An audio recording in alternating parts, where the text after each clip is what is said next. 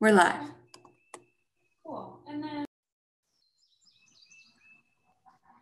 Welcome, uh, everybody, back to Segal Talks here at the Martin E. Segal Theater Center at the Graduate Center, CUNY in New York City in Manhattan at City University. And uh, another day in, uh, in, New York, another day on planet Earth, and another day um, with uh, COVID.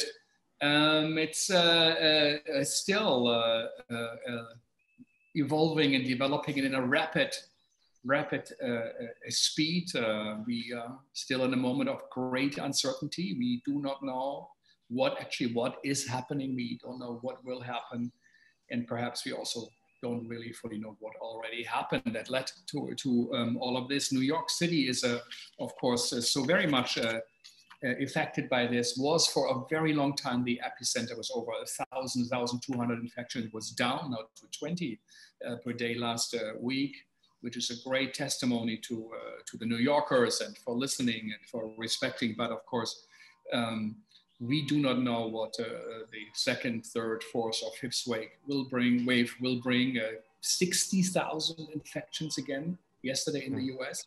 Uh, it is the fifth day of record uh, infections. Um, we don't really know uh, um, how this could be compared to other countries, uh, other nations um, more and more it becomes clear it's because of a disastrous leadership um, of uh, responses that don't serve the people, that didn't protect the people, that didn't take that as serious uh, as they should have been in the beginning. And the same for now, the president refuses, refuses to wear a mask, um, now pushes for opening of schools in the fall uh, for normal uh, high schools and kindergartens, even so numbers are against it. And he threatens to take away subsidies and uh, funding. If not, our international students um, are uh, threatened not to get a visa, not to be able to study at the university or at other universities. Harvard, MIT filed a lawsuit, I think, yesterday against this uh, reckless and, uh, uh, and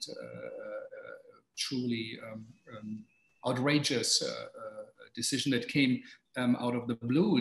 All theaters still, of course, are closed in New York City. No indoor dining. So many restaurants bought food for indoor dining for the 50% uh, openings that was promised. But the numbers um, are so high that uh, um, Cuomo went back. Uh, New York City um, is uh, also experiencing uh, strange things. It looks like, and it's really called like the, Corona neighborhood in Queens um, has 68% or 70 percent of infection of everybody on the street. So it's almost herd immunity. People were affected much, much more. And often, of course, it is a more immigrant, diverse neighborhood that uh, is three times as affected uh, than the white people and die two times more by the rate.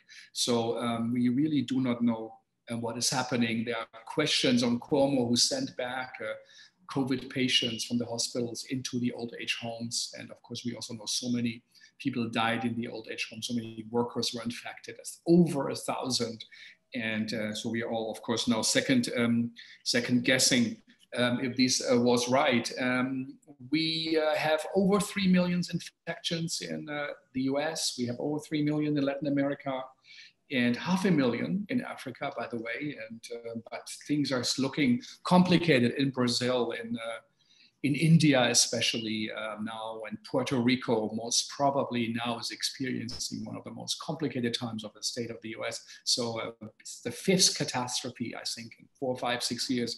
It is uh, quite stunning the time you live through. We heard yesterday from uh, Japan uh, from an update uh, from Satoko, um, what uh, artists are going through. They are opening actually theaters in Japan. It looked like uh, it was all behind, and all of a sudden now also Japan is closing again neighborhoods, restaurants, streets, and uh, trying to contain to contain it. We all, of course, think what what is the role of the arts? What is the role of theater? Theater has been hit so hard. There will be they were the first to close. They will be the last to open, next to massage salons, uh, um, because it is a work with the body, is a representation with the body and a public. Uh, uh, uh, gathering of a community, everything that makes uh, life and uh, community great. Um, and as we always say, great theater is a reward for a great society, a great community, a community that takes care of itself. And if it's not the case, there is no good theater or no theater at all as we have it now. Um, it always depends, of course, on the people who run these institutions where artists have been on the right side of social justice, of the complex struggle for freedom and liberties. And these artists anticipate the future, or they are in in the moment closer to the present than we all are. And uh, one of the leaders uh, in New York City um, is uh, Niegel, Niegel Smith, who we know for a long time. He also was at Prelude and he took over the Flea uh, Theater in New York City, which uh, he inherited a system, um, uh, how it worked, how it produced, and and now is in the middle of that storm, in the middle of the COVID, uh, having a theater that cannot produce theater, having artists who cannot work, um, having to redefine the mission, um, which is the uh, role of every artistic director. Niegel is primarily a director, and he did do the great work of the Free, the Southern Promises from Thomas uh. He worked a lot with the great Taylor Mac. Um, the Holiday Sauce, but also the, the, the now legendary uh, 24 decade history of popular music, uh, uh, a landmark piece, I think, of the decade um, also. And uh, so many uh, institutions he worked for and uh, centers, museums. Um, he is also board member of ART, of Art New York, of the, the Union of New York Nonprofit Theaters, with five, 600 members, I think. And he's an activist, an artistic activist organization uh, the willing participants where he's a ringleader that whips up urgent poetic responses to crazy shit that happens. Um, so uh, Niegel, thank you for joining us. I know how much you have on your mind, how much you have to deal with or had dealt with. How, where are you at the moment? Uh, Frank, thank you so much for inviting me to participate in this, I think, really important project. I am uh, thankfully with family, uh, and I'm in rural North Carolina today. Is that where you grew up? Yes, I grew up down here in North Carolina, so back home. Back home, yeah, I heard hear some sunburn. So were your parents were they part of theater? Were they involved in the theater world? No, uh, not in not in the professional sense. You know, uh, my mom, uh, she is a laborer. Uh, when I was growing up, she was working in screen printing, uh, and now she works for Walmart. My dad um, worked in uh, it was a, it was a cotton mill, so textiles are big. So uh, and then moved into actually um, became a, uh, a guard at a local prison. Uh, so uh, that was my that's where my parents started. But uh, church and particularly the Pentecostal church tradition is what I the faith system I grew up in, and it is it, is theatrical. You know, it is the kind of space where you walk in on any given Sunday and you don't know how long you're going to be there uh, because there's a, there's a call and response, there is an improvisation to it. Uh, if, if someone's spirit is moved to dance, then the drummer picks up the beat and that dance happens, that praise dance happens. Or if someone wants to sing a certain song, that song starts to rise and the rest of the congregation joins in that song. Uh, who knows how long the, the homily is going to go on.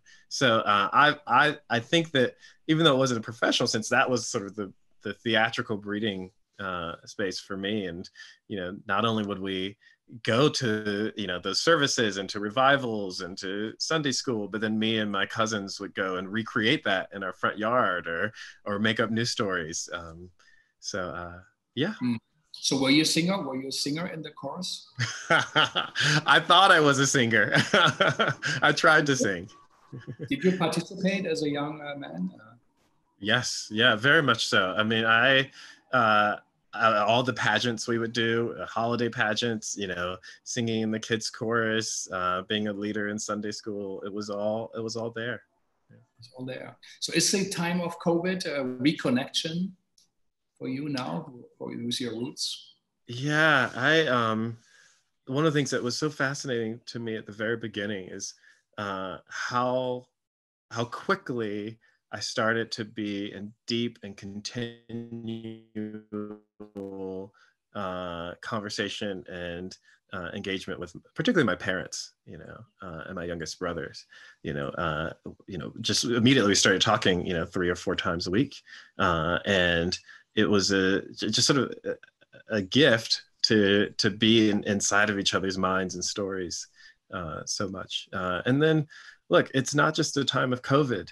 Uh, it is a reckoning for our society. You know, um, I have two brothers, two younger brothers, and I have a nephew, and I have my father, uh, and I have a black family. Uh, and for century, for you know, centuries, we've been agitating, uh, and our lives, our value as fellow citizens, as just as simply as human beings, um, uh, must be uh, acknowledged uh, and must be supported and um, and elevated. Uh, and we are in a moment where um, many of us won't accept, cannot accept uh, any return to uh, what our our world, our institutions looked like before COVID, and yeah, that's where my that's where I'm thinking about right now. Mm. You know, and, and I'm also and I'm also thinking about sort of the um, look. You know, I've lost uh, family and friends of family to this um, disease, and many folks I know are out of work uh, or underworking, uh, underemployed.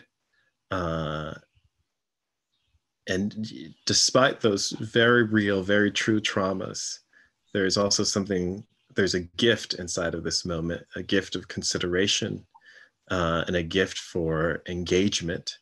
Uh, and the, um, for some of us, the, the wherewithal and energy to actually go out and do, and do the work and call for change. Uh, and so um, this pause that has a horror to it also has uh, a deep, deep opportunity in it. Uh, that uh, I'm grateful that so many people can be involved in this in this movement.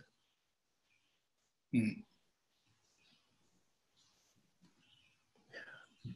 Yeah, and um, where were you when it started the COVID? When you say when you should know this is happening for real? Where I was in uh, when I well we were when I first started to become aware of it uh, uh, happening in other countries. I was in rehearsals for um, a, a, project called The Fre by Taylor Mac that was being produced at the Flea Theater, which I was directing uh, with our resident company, The Bats, uh, and we were doing a, a giant ball pit. Uh, it is uh, the Fre is about um, re- really about our, our, divided society and what does it mean as a, uh, a queer aesthete intellectual who leaves a uh, a society that's uh, that's Trumpian and that is um, mired in sort of it, it, its its um, selfishness. Um, and what does it mean for him to return to that to that world uh, and is is there room for uh, a, a, coming together across uh, sort of worldviews uh, as a comedy uh, in a giant ball pit. The audience was cast inside of this if they wanted to be somewhere outside. Um, and it, it, it, we were just deep into making that piece. I mean, truly a pre COVID piece, if you think about it, you know, mm-hmm. all of our bodies inside yeah. of this ball pit together. Um, and uh, we got about, we were four previews away from opening night uh, when uh, it was absolutely clear that we as a theater industry needed to uh, to shut our doors. Yeah. And you, in a way, are responsible, right? You're the, the, the director. Yes. Of, oh, I remember. Yeah, I mean, well, at that company, you know, we had, we had two casts, so there were 16 actors, and then uh, you know our, our tech teams and our staff uh, and uh, folks working in our building. Um, so and I, I remember getting a, um, I think Annie Kaufman sent it out. You know, I'm a, on a group of fellow uh, artistic leaders, uh, and it was the first time I saw a document that laid out the um, the curve and laid out mm-hmm. the argument uh, for flattening the curves and how um, institutions and governments needed to react quickly.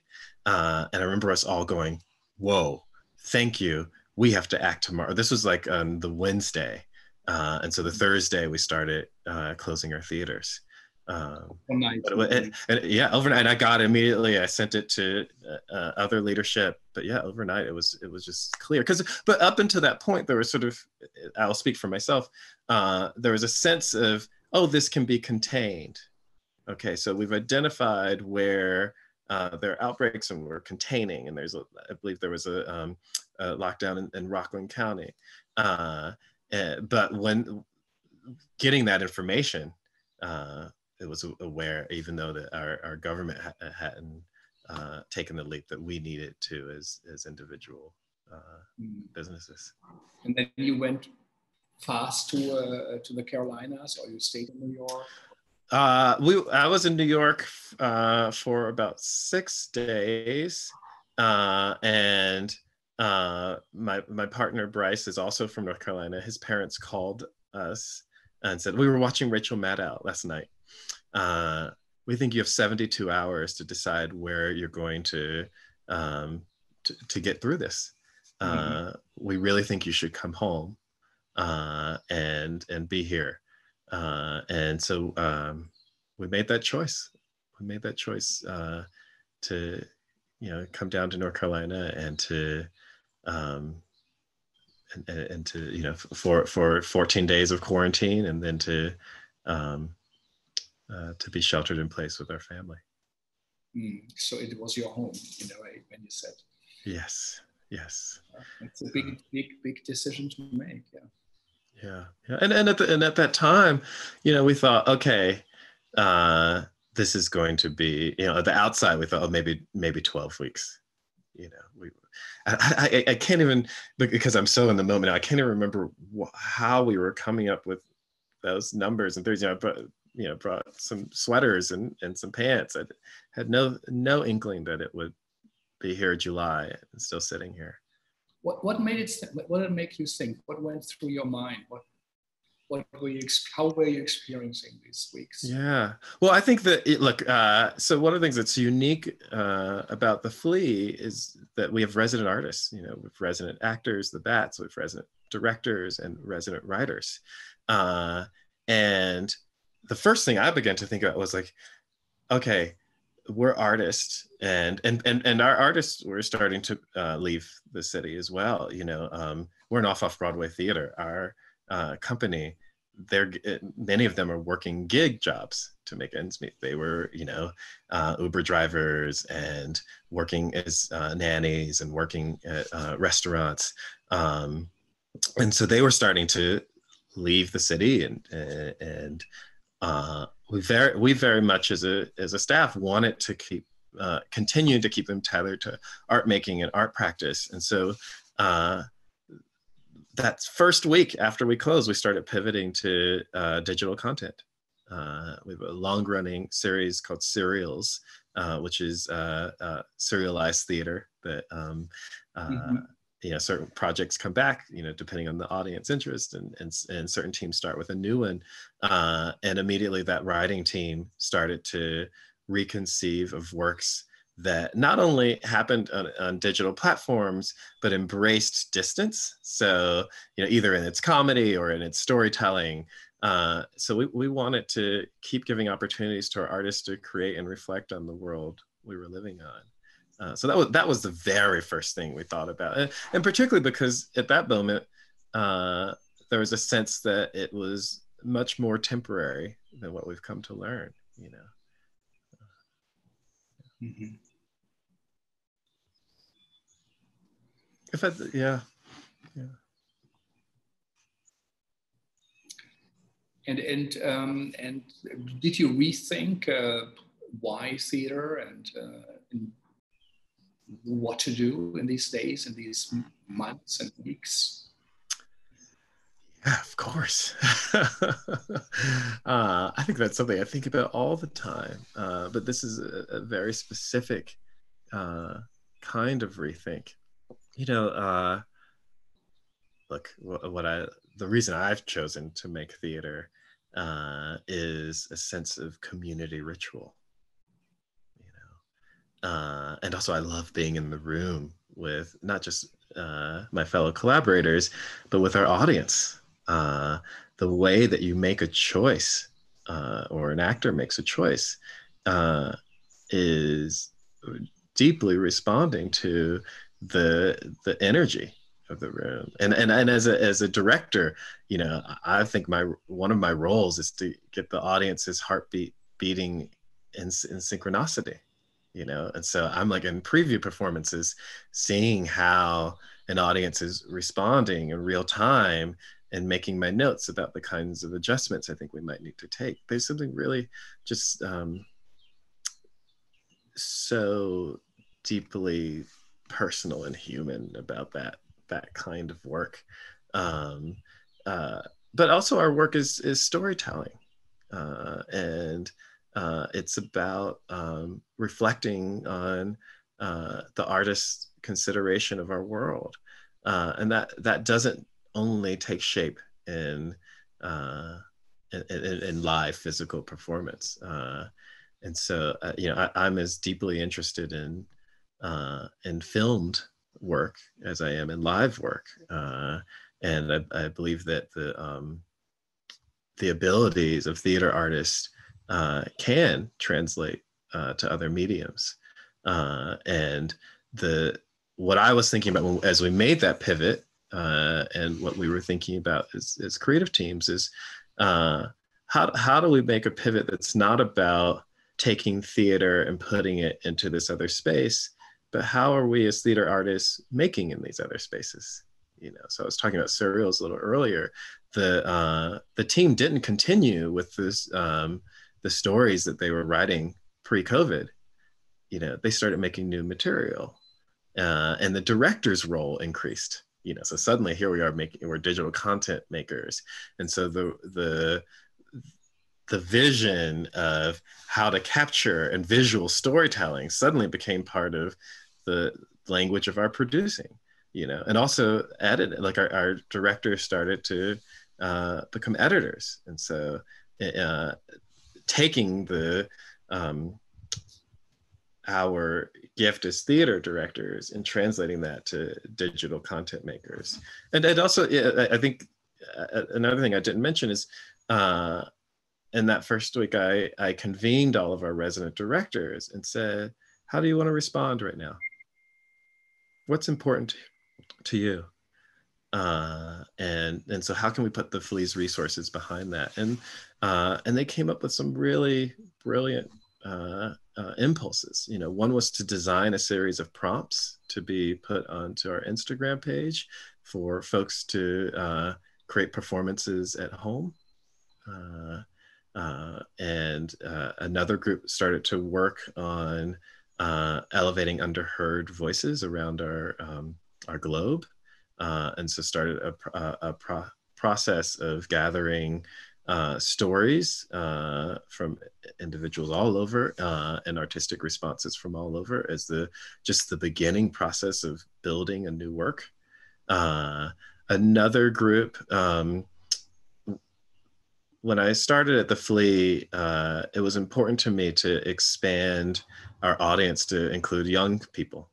Uh, I I know that it is essential um, in our society that we um, that we offer deeply considered performances to folks from a very young age. They deserve it. They deserve. You know, you begin our conversation talking about what great societies deserve. And I was lucky enough, even though I grew up here in this rural area, that at some point someone took me to the big city and I saw a proper play, The Snow Queen, on stage. Uh, but I had also been in, you know, we could call it local theater, the pageants we were making at church. Uh, that there was space for the expression of self you know and the expression of community and the expression of value through live performance. So that's just a, a really i think a really long way of saying uh, it was it was important uh, that we start making work for young audiences. And um, they're all set in, in very specific cultures and cultural traditions. And, and one of them uh, set in, in Russian tradition was it went wonderfully well. And the director uh, is also a, a, film editor, and the designer was really interested in uh, how to animate the work. Uh, and so that team started uh, working on an animated adaptation uh, of, of the play, Not My Monster. Uh, they are still deep in it. Uh, our resident company, the Bats, who originally performed it, uh, did the voices and the voiceovers for that work. and, you know, we hope that very soon we'll be able to to share that uh, with audiences in this other form. So, I mean, the um, I, I think that that unique positioning of having a resident company just got us thinking very quickly about uh, about how, how how we live our our lives as artists. You know, and and like you asked a really big question. You know that I think also is extended to my my person my work outside of the Flea You know, I'm also a freelance director, and I'm I'm working on this uh, opera. The ritual of breath is the right to resist, uh, and it is an opera uh, that is a meditation on breath, a meditation on the loss of breath, uh, and a call to action uh, for all of us to um, to to breathe in uh, the the value of all of Black lives. Uh, and our producer turned to me and my fellow collaborators. Is the libretto is by this incredible poet Vievee Francis, the score by Jonathan Berger, and uh, the instigating artist Enrico Riley, is, if you don't know his work, he's one of our nation's best visual artists. Um, our producer turned to us and said, what do you want to do now? You know, here we are. You know, we can't make an opera, you know, spraying saliva and musicians and and audiences. Uh, and you know, we said this work is urgent, and and uh, and so now we are conceiving of it as a hybrid uh, live filmed piece. And so uh, we're building a model. Um, Mary, Mary Lou is our lead producer. She's based at Dartmouth. Uh, and Kim Whitener is a producer, and they are uh, committed to us as a team, um, actually coming together, having our moment of quarantine. Uh, and not only are we going to build the live performance, but we're going to build the filmed performance. You know, so it is it is a film that calls on the aesthetic of our current day uh, which is that the, the individuals, the community making the action of this opera are also filming it with the technology that is uh, right there with them. Uh, uh because we believe that this work, uh, as a creative team, we believe that this work can resonate as deeply through that point of view of the person inside of the work making a film about the work as it will as a live interaction uh, it's it's fascinating the questions that you know get brought up you know uh, around the oral experience and the immersiveness of uh, something that's mediated by technology uh, but all problems that we're eager to solve and at the same time making the live experience so that as we're able to uh, to invite audiences into a space again uh, they can also have that experience with the work so I mean, these are big things I'm thinking about, you know. Um, and I, and I also think about, um, you know, advocacy, you know, advocacy for this form in our in our country, which is why, you know, you mentioned I'm a board member at Art New York. That's why I'm a board member, you know, is that uh, we have to we have to ensure that there are resources and space for uh, artists' work to exist. Mm-hmm in the opera is about breathing. Did you do this before the uh, George Floyd killing? Was that conceived before? Yes, uh, it was. Uh, yes, it's been around. We've been working on it two years now. Two years, yeah. It's, you know, as we said earlier, that artists in a way do anticipate these things. What was that moment for you that the Black Lives Matter that, of course, also was there before, but became and so prominent and as we now know is the largest uh, uh, civil rights movement ever by numbers uh, that history of the United States. How did you experience that moment? Yeah, I mean, what a question. Uh, to, I don't. Someone asked me recently. They said, you know, I was a, a group of folks. What's your uh, first memory of being aware of of race? Uh, I, personally don't have a pre-racialized memory. Uh, that you know, I I remember my dad growing up. He said, "You know, son, you got to be 110 percent. You got to play their game better than they play it." So, like, I grew up inside of a worldview that was about white supremacy and about uh, my relationship to whiteness and how I would I would be perceived out in the world. Uh, I don't think I've I've lived a day um, without a deep understanding that Black Lives Matter. Uh, what's infuriating just, is uh, that my people still have to die for other folks to uh, to acknowledge as much.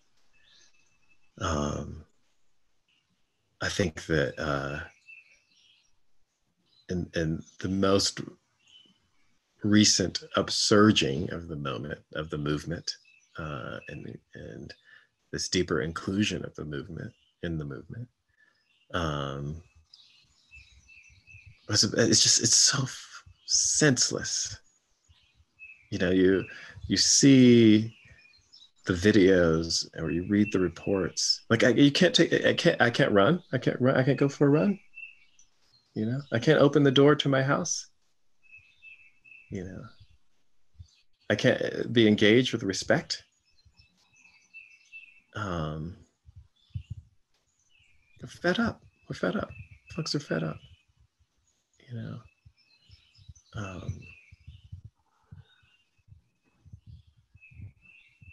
and then and i'm also just so concerned you know it's like i was working on a project years ago with Branden Jacobs-Jenkins his, his uh, play Neighbors, and we were doing the first workshop of it, and it's uh, it, it's it's an incendiary piece. You know, it's it's a piece about a, a family of vaudeville vaudevillians, black ones who are also in blackface, who show up next door to a black college professor and his white wife and mixed race uh, daughter.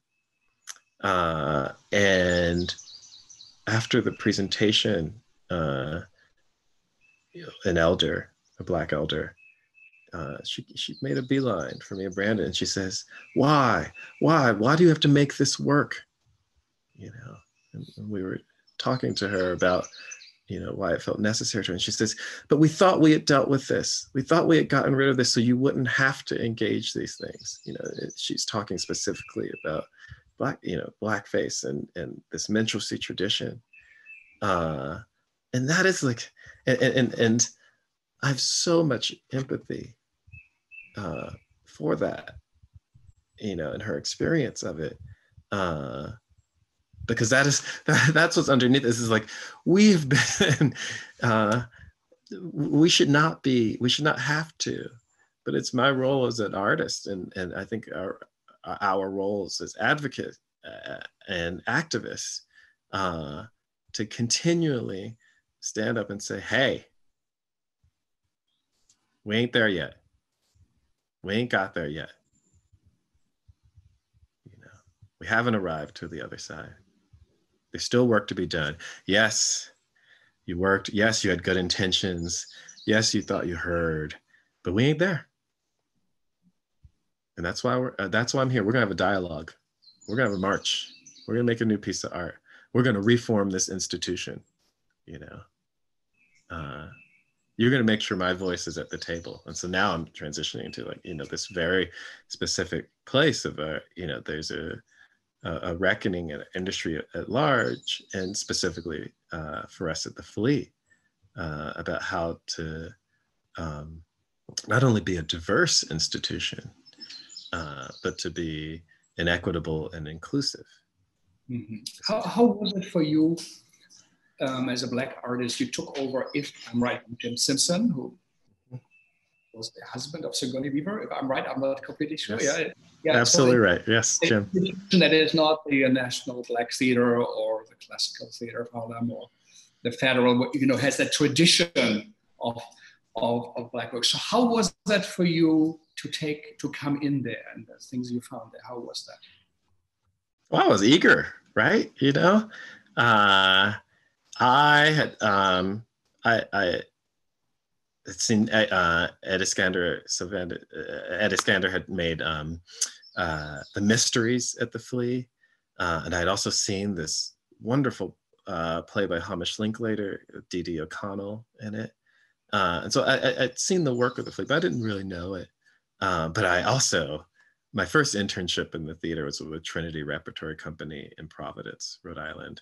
Uh, and they had a repertory company, mm-hmm. you know, which is so rare in our in our country. And, and I just being I remember being so enthused about the idea of an ongoing engagement of artists with the theater. And so uh, when the Flea was looking for a leader, you know, two things intrigued me about the institution. You know, one was there's resident artist. Okay, what is that? What does that mean? How does that get worked out? Uh, and and not only are they resident artists, uh, they're early career young folks, and so they're not playing. Uh, you know, the assumption they're not playing by the rules of uh, the established, you know, art makers. Um, and then also it's off off Broadway, which is that's the thing that keeps me going as an artist is the space for uh, the novel, um, the experiment, uh, the reconsideration of the form, um, the introduction of new voices uh, and new perspectives. Uh, and so I was like, okay, that's that that those two things at one place you know, let me let me go through my hat in the ring. Uh, and I, I, had a successful interview process.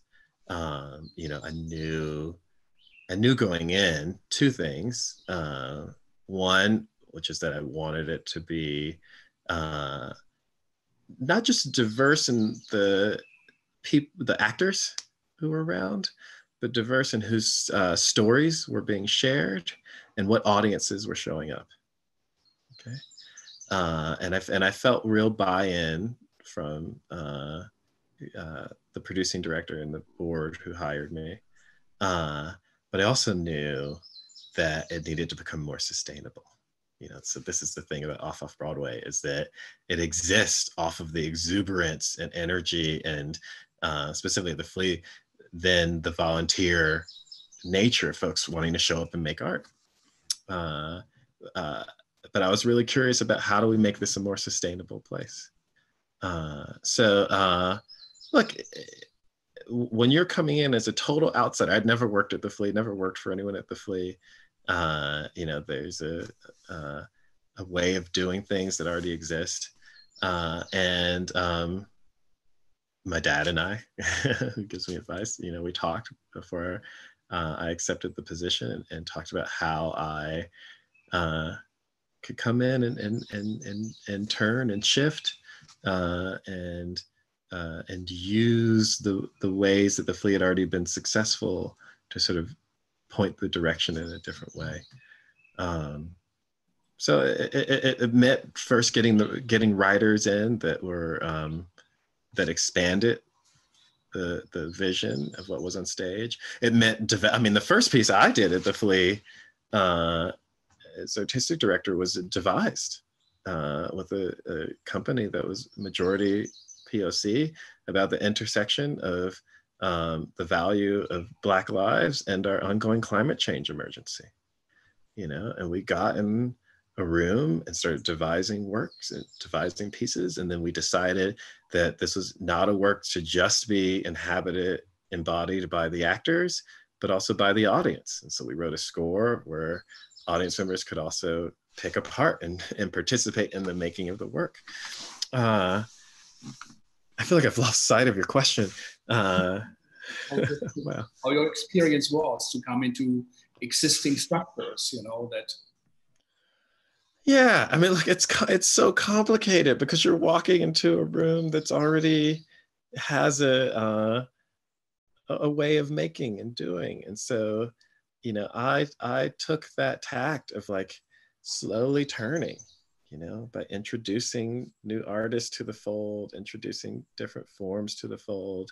Uh, you know, it was also a theater that was in the, in the midst of a capital campaign building a building. And so there was like that was like the main uh, board priority you know leadership priority. And so uh, the goal was like to get into the building.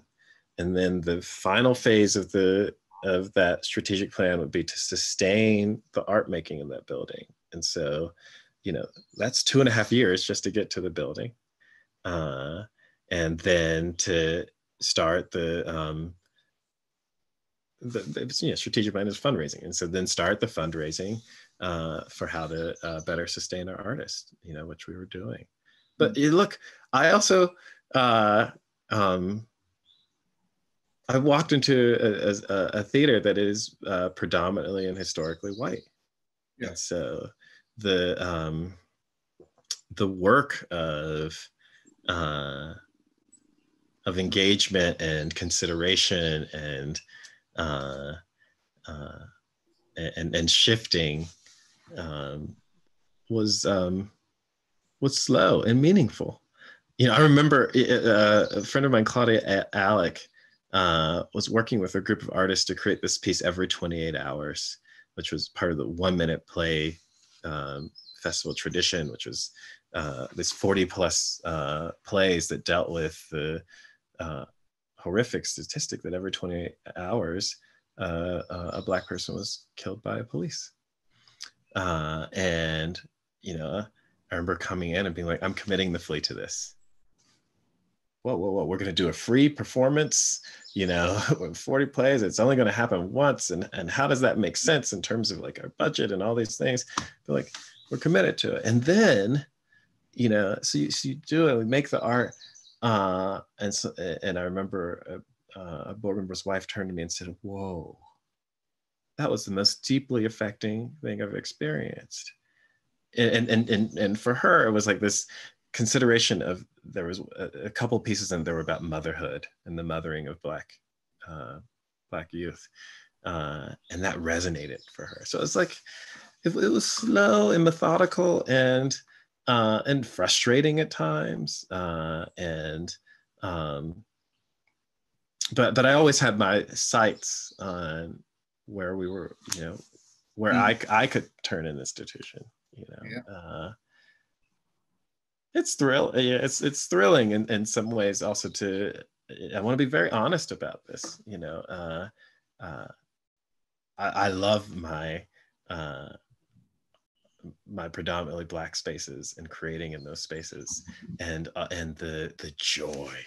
Oh god it's such deep joy. I, I remember this piece Syncing Ink that was just so fucking joyful because of uh, our our shared uh, histories and values.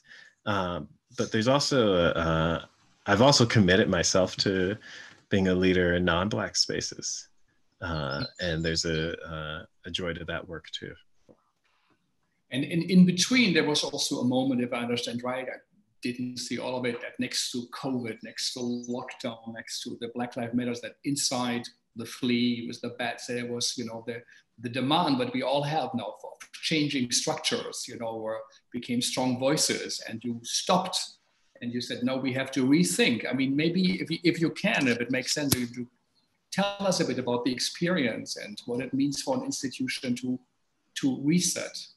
Yeah. Well, look, it, it, it began with uh, individual artists speaking out. You know, uh, I remember, you know, it was uh, the movement was resurging, and uh, I had decided, uh, or we as a staff had decided that we needed to make a statement uh, in solidarity with our Black artist. I decided that um, as, as a Black man living in this moment and as a leader, that that statement sh- uh, should be personal.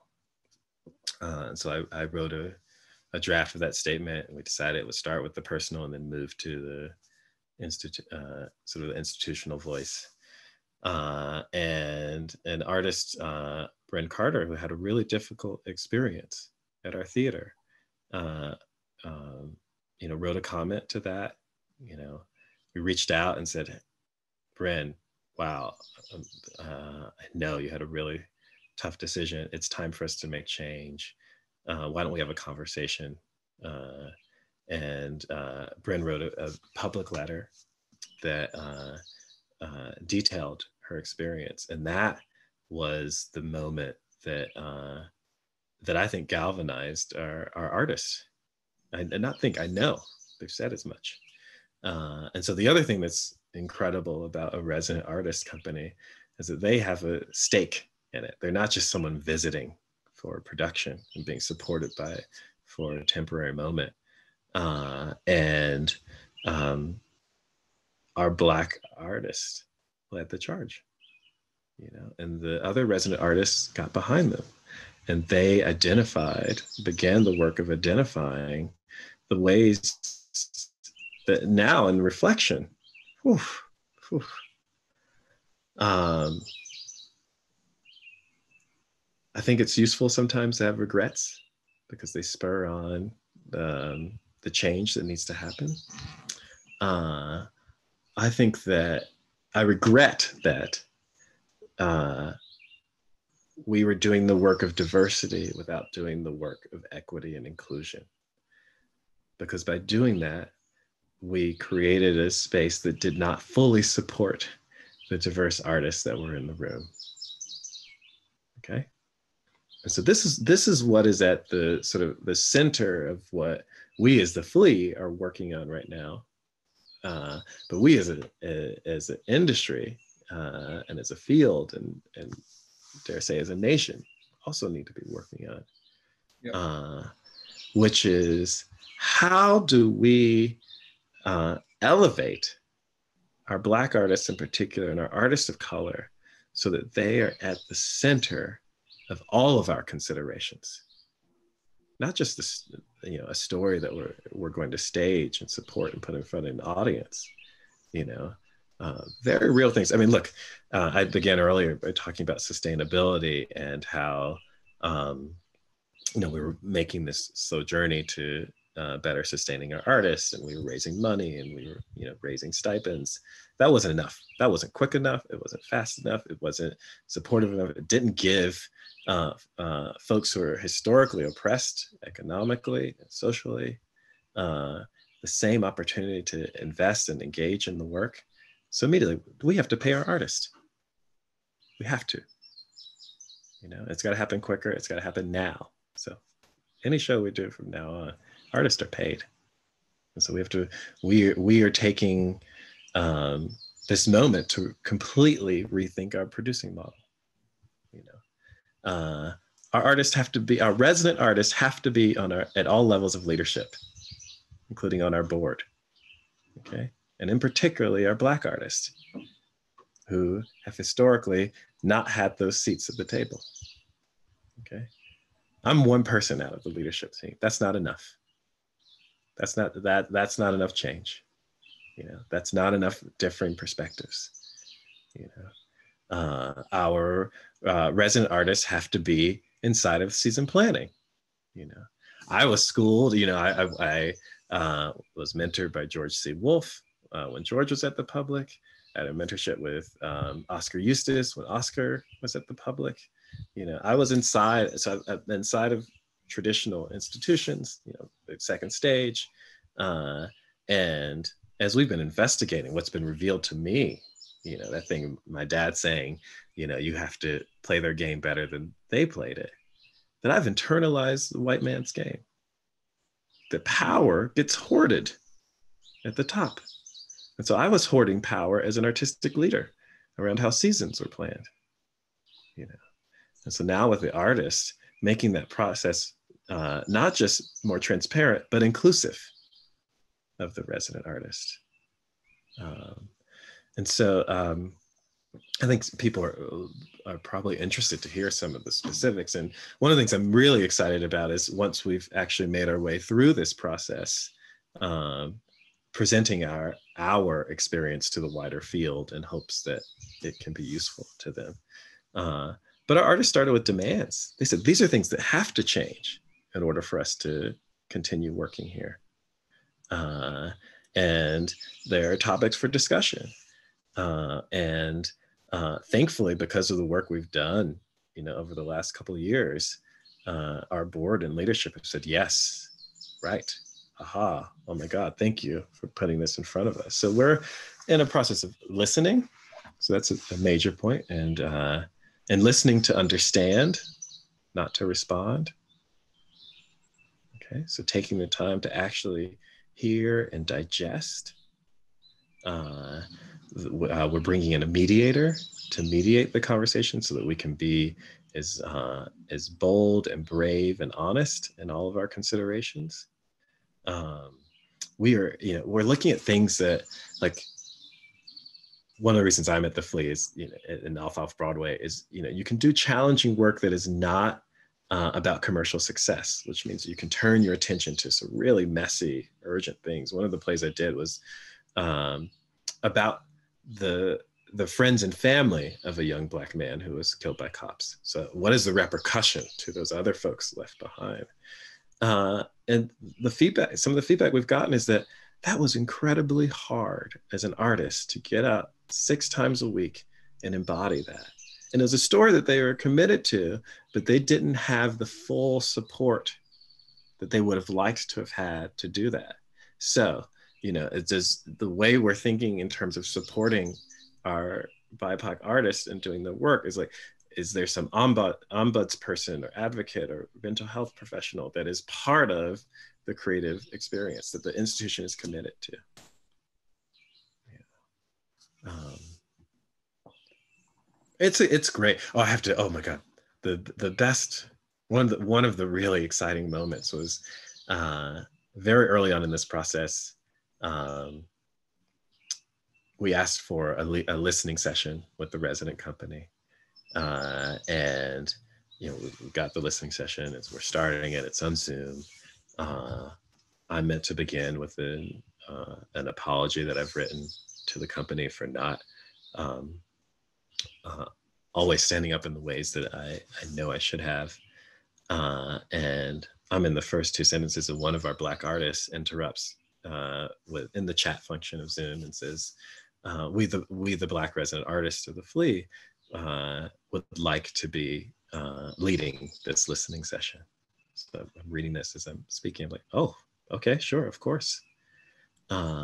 And they take over the space and it's one of the uh, I think one of the best, most uh, generous, um, yet yet prideful um, moments of, of artists saying we have to be at the center, and we love this institution and we need it to work better you know and they had built this. It was i don't want to call it a, a performance uh, but you know they had written it and they had created space for all of their voices to be there. And they had um, been in touch with the rest of the company and all of the non-black artists in the company had moved their screens to black standing in solidarity with them. Um, and, and, and we got a, a chance to actually hear to actually listen. That wasn't about leadership creating a space but actually leaders stepping up and saying this has to this has to be about us right now. Uh, so that's that's what's been inspiring about the moment is that like everyone wants it to work. Everyone wants the flea to work. Uh, but i'm telling you we're starting from zero. So what are our values? Okay. Uh, how do we actually support those values day to day, production to production, and include our Black and people of color artists at the center of those that decision making. I, we're doing radical. We're you know they're going to get to see the the the operating budget. Duh. You know that's how you set priorities. Where's the money going? You know, how much do we need to raise?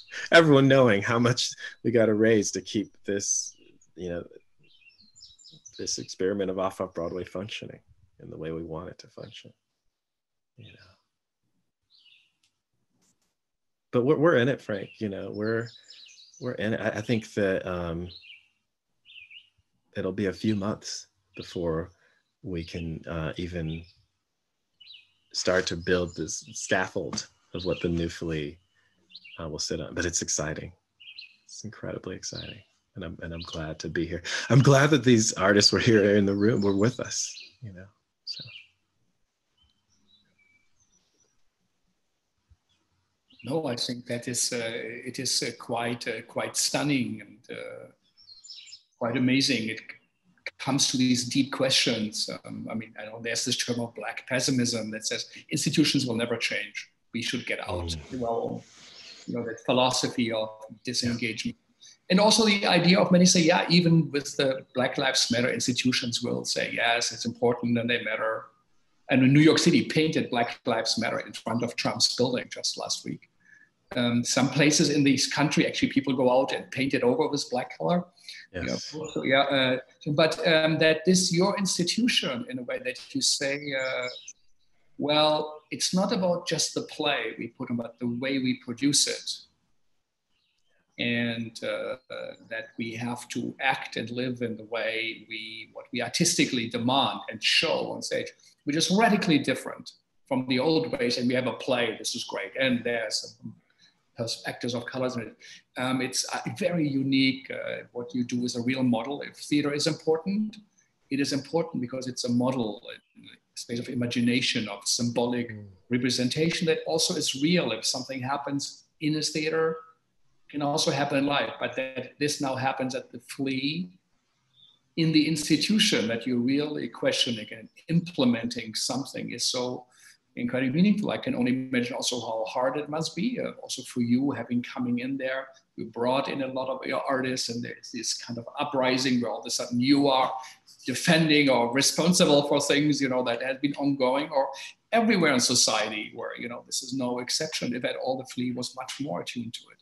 So um, I think it is quite uh, um, quite uh, uh, encouraging to hear that you're taking it all so seriously, that you go so deep, and it is connected to the COVID time. I do think that we all listen more that this happened, that the artists were questioning, what am I doing here? You know, that um, where's the money in the time where there is, till the end of the year, there are no jobs for no one yeah.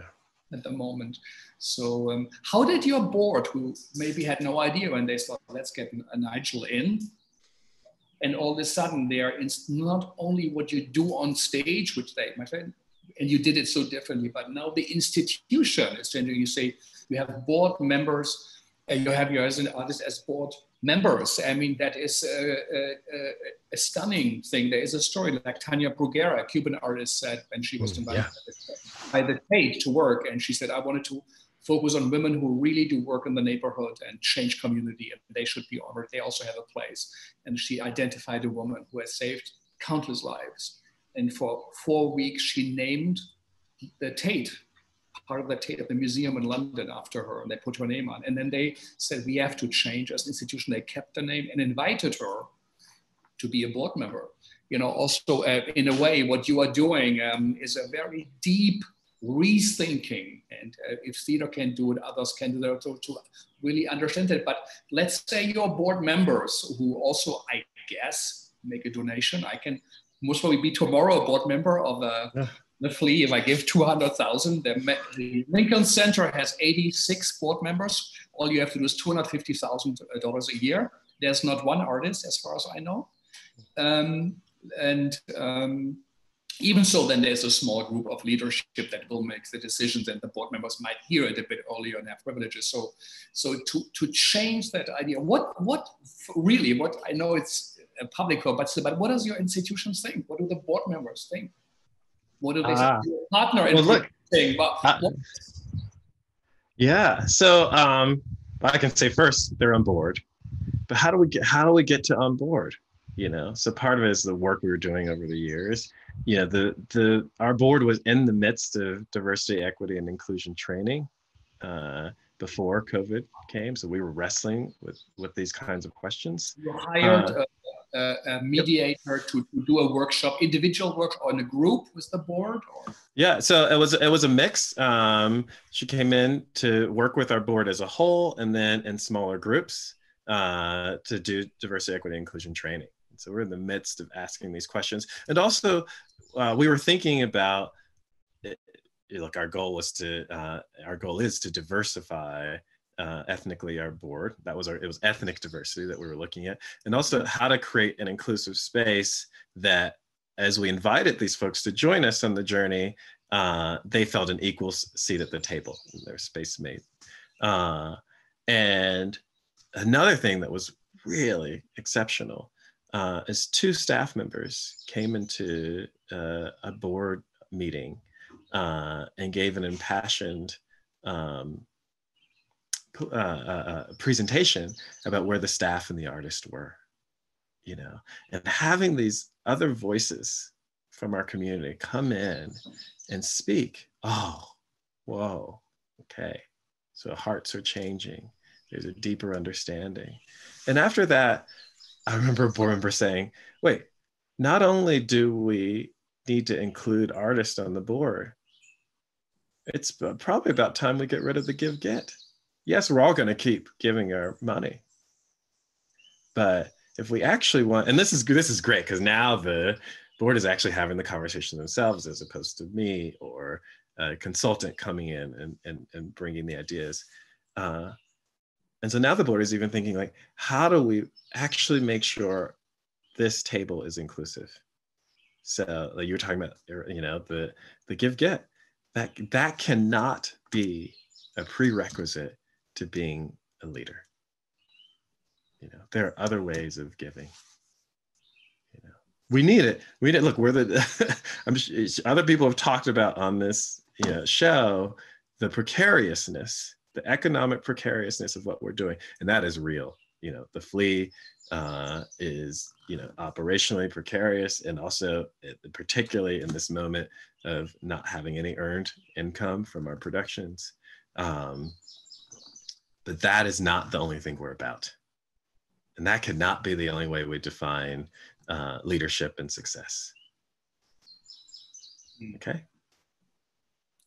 And also the uh, idea so, that members want to be also not just people who give money, but to be in a dialogue, to be part of change. And most people I know yeah. on board are great people. They are serious yeah. people, but often also are not asked to engage, as you say, staff or resident artists or not. So there is a chance to mix something, to have a, you know, an, uh, uh, a, a collision of money and ideas and possibilities and experiences. And that is richer for all of them because we do need uh, supporters and the people who do it, they are great minds. And actually also people really go to the theater, go to the art and they could yeah. find, especially in New York City, so many more other ways to support their own ideas or things than, than doing it for a nonprofit theater.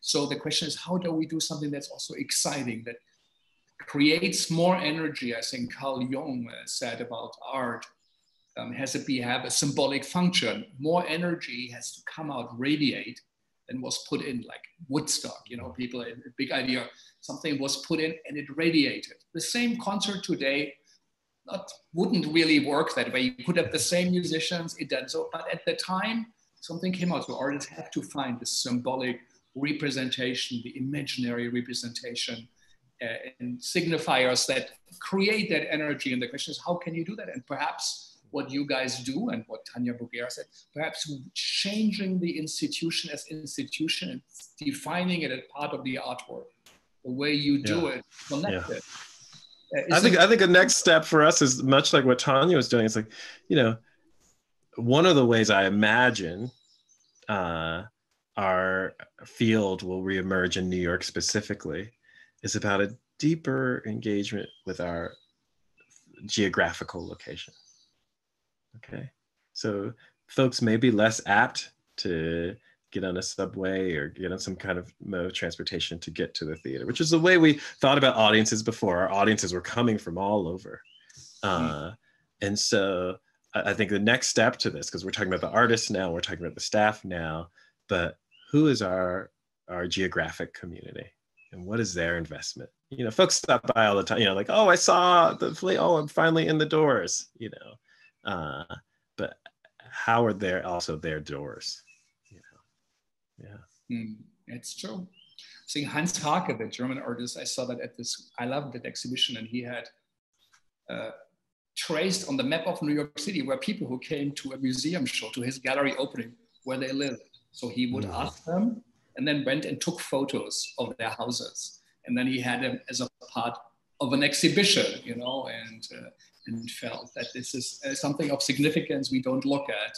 And um, yeah, also what you say, I think that is all significant. And August Wilson wrote so much about it. It's not okay to just say, oh yeah, we have death of a salesman with a black cast. No, that's the white experience of the American dream because a black salesman would never believe the things Willy Loman would believe in. Because that's not the point. We would have to hear the story from the black, from your father, you know, and your mother who doing silk screen, and he, who you know now works in prison, or that. Or other. So that's the stories we yeah. need to hear, and uh, there is a change how much of this what happened at the flea, which is a stunning thing, the eruption, the energy and the changes, how much of it has to do with COVID? You think of would that have happened anyway?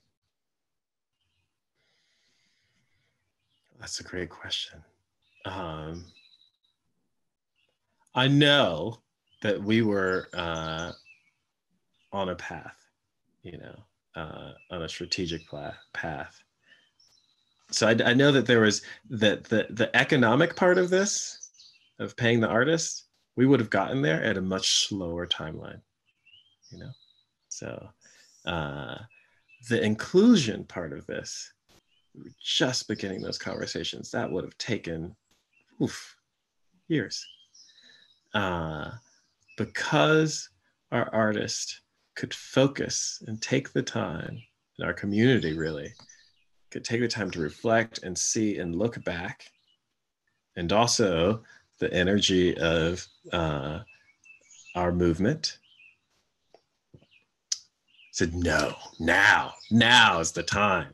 So yeah so yes because of this particular confluence of events we are moving at the pace that we should have been moving at before and that's that's also the thing that i hope that that we don't lose sight of in this. Uh, that this moment is teaching us something about all moments. You know, that a fear that I I have, and I know many of my black brothers and sisters have, uh, is that oh you're just paying attention for the moment, and then things are going to change, and this is going to stop being a priority because that's the script. That's the history. We all know that script.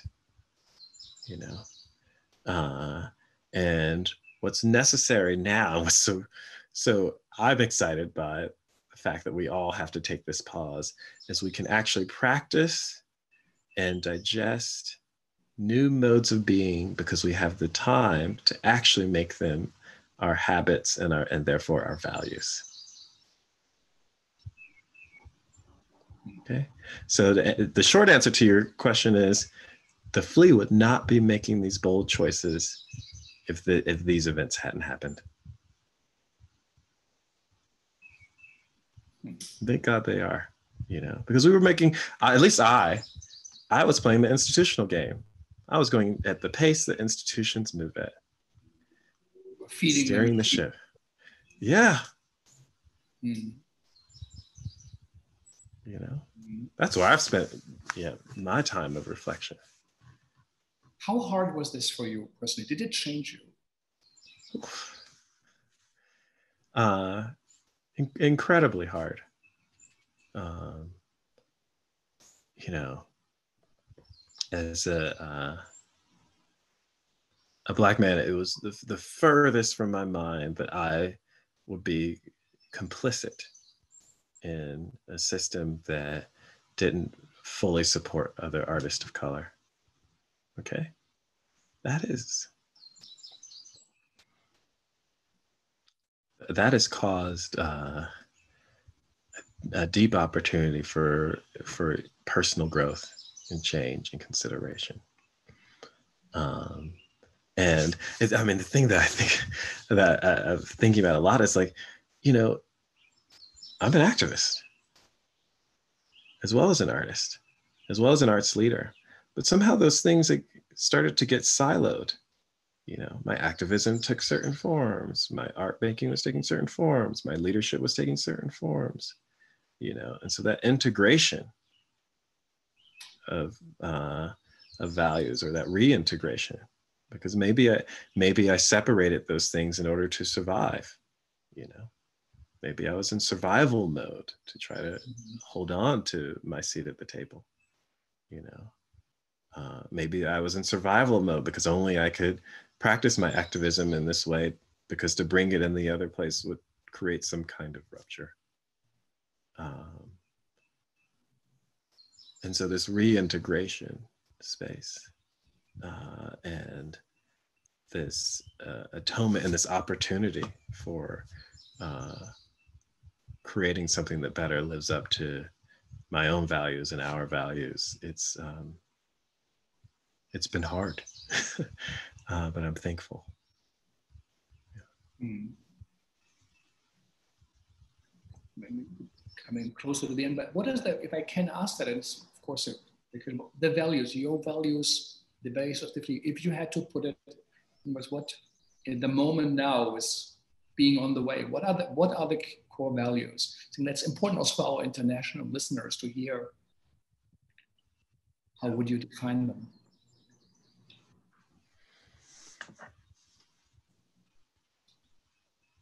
Art is necessary.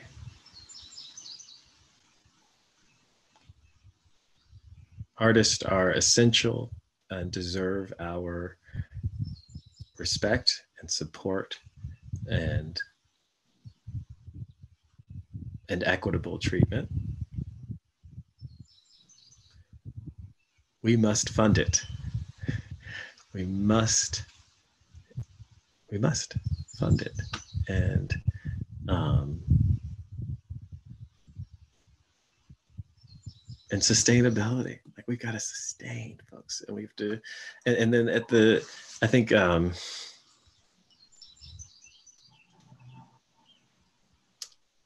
when, when I think about it must be equitable, uh,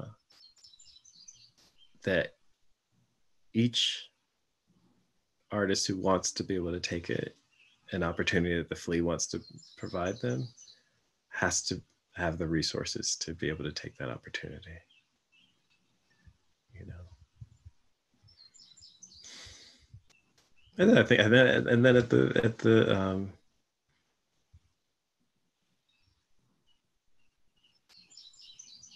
I have a value of community and communal, and that is uh, one of the reasons I chose to throw my hat in the ring at the flea, is that there is a community, and that community is the artists there and the audience, and so how is all of our choice making about the community so not about an individual or uh, some bold vision one person has, but like I, I keep thinking that if we get to the other side of this and there's a communal buy-in, that that's that's the flea I want. Yeah. Yeah.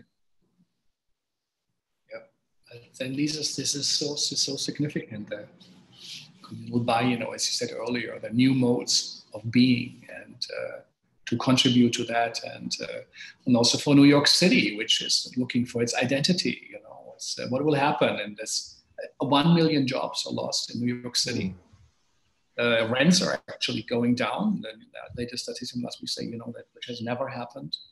Um, many people will work from home. Offices will be empty. It also means there will be more available, and uh, so maybe it will be closer to Berlin. Maybe there will be again a chance to reinvent and uh, and uh, that city that everybody, the Bonnie Marrancas of the world, tell us, you know, you had no idea how great it was in the 70s with all the complications. You know, this was a different town, but um, I think again, uh, art will play a great role, and this is a great city, and it, but it has to reinvent yourself. And what you are doing there, um, that kind of painful birth and uh, all the complexities in it, you know, are part are really part of that. And I can only hope other institutions would do the same. Uh, they most probably won't, um, but they could, and this is something we can uh, we can learn. So this is why your experiment or your journey over um, is of much larger significance. Also, what will come out of it, and um, and perhaps also then what additional changes it will bring in, um,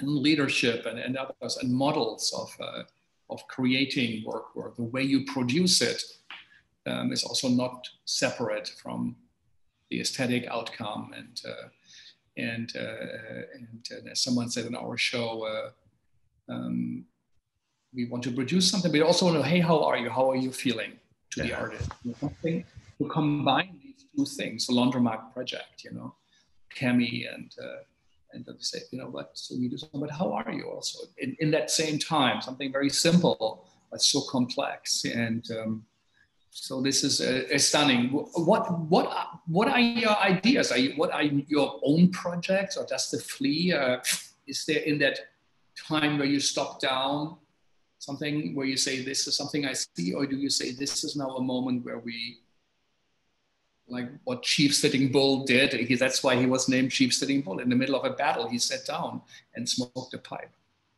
because he had to rethink. He didn't yeah. get injured, luckily, and then went back and they won the battle by that, what he did. And uh, um, so, um, so w- what is on the horizon? Is something you share, or is that really not the question at all at the moment? It's not the question you know this is the time for consideration you know and you can imagine there are board members and funders who also have the same question you have. What's next? What, so what comes out of this? Mm-hmm. right now is the time to listen and to rethink. Okay?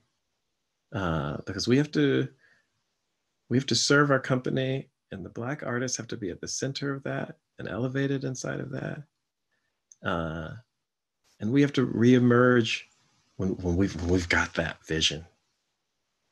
You know, uh, when, we've heard each other, truly.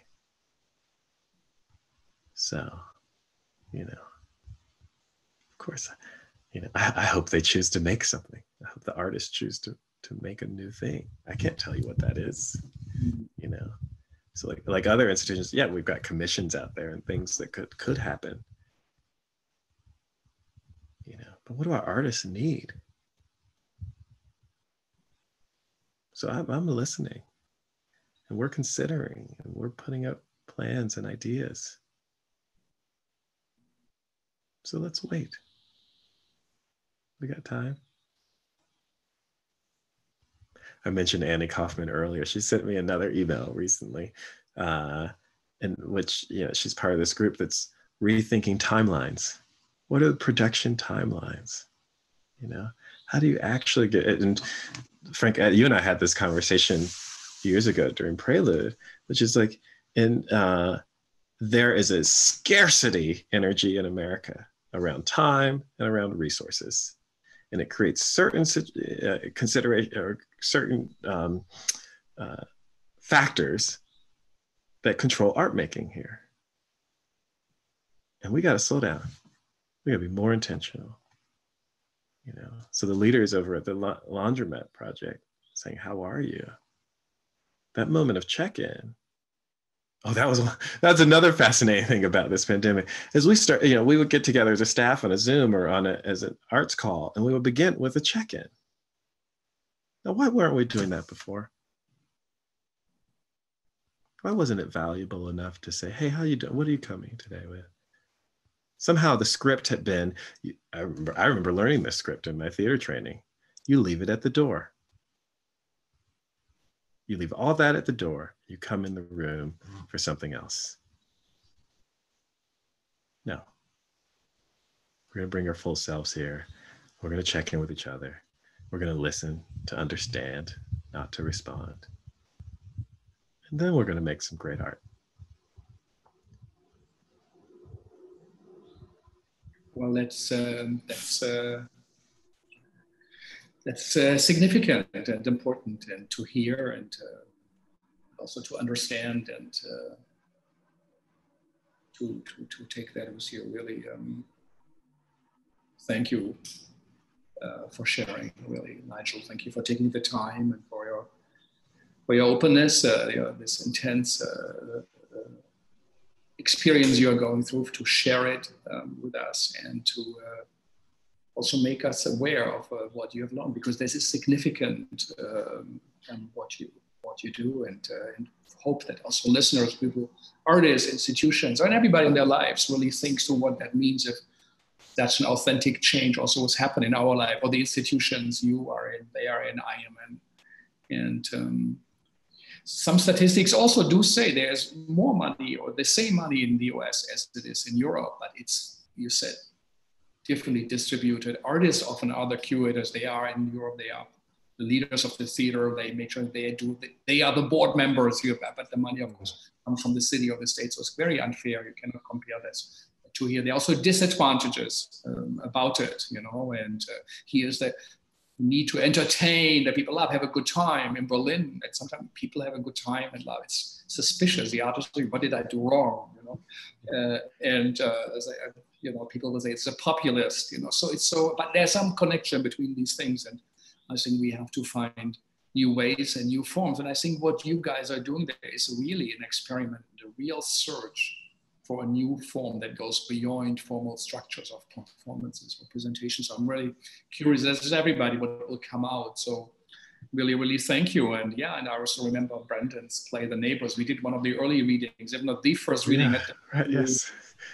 audience members who were upset and uh, the hell did we do fight for when you, you do this? You know, uh, the community members who came and um, he said, well, we have to deal with this, whether we like it or not. And the idea of neighbors, in the very early on in some of the um, early writings of uh, about America, people from Britain who went back and forth said the idea of America was the nearer neighborhood that you mm.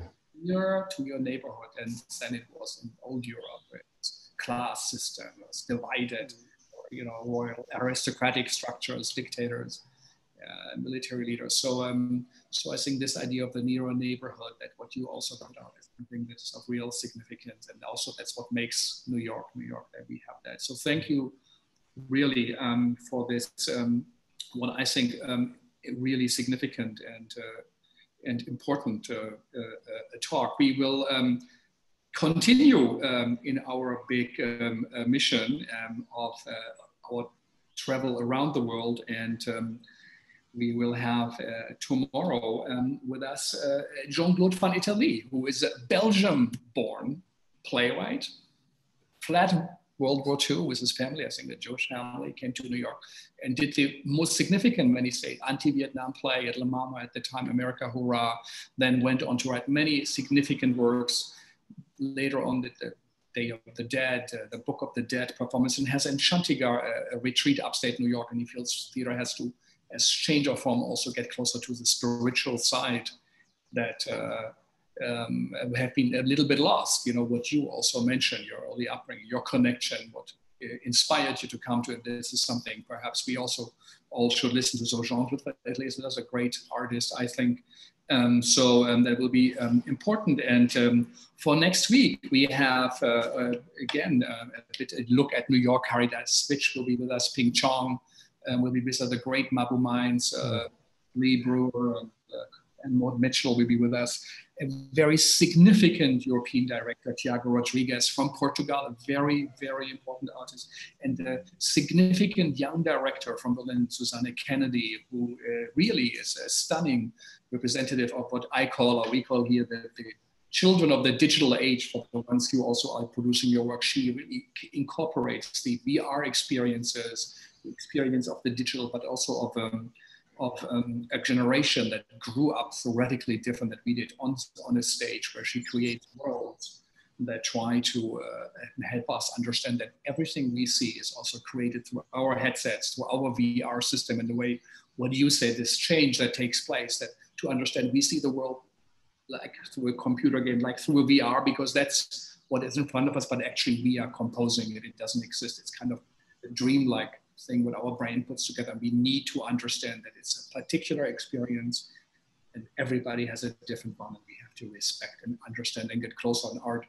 can uh, can be that. Susanna Kennedy so uh, will be um, with us. I think it's on next Tuesday. Again, Niegel, thank you. This was really um, so important also for me to her. it gives me hope. Uh, it gives me also uh, lots to think about, also for me and myself. And if there's any change, we have to make ourselves a change that is authentic. Yes. It comes first, and, and then also look at institutions, see what does radical change really, really mean, and what you do there is uh, of significance and an ongoing project. Uh, and of course, like everyone, experiment with failures and back and forth, but it's to, to take these steps, and the first steps in the long journey are the significant ones. But uh, thank you, Frank. Good beginning, uh, work hard done. We say uh, in, in, so thank you and thanks to HowlRound for hosting this vijay thea and uh, travis uh, sanyang and andy from the Segal team and to you listeners really thank you for staying with us. Uh, what Niegel had to say is of real significance and importance and it stands for so much more than the world of the specifics he talked about and is something to really consider to keep with us and listen and perhaps also to go back and also something to to support. Thank you all, and I hope you will all stay safe. Do wear a mask, uh, stay tuned, and um, tomorrow is another day. And uh, see you all on Monday. Bye bye.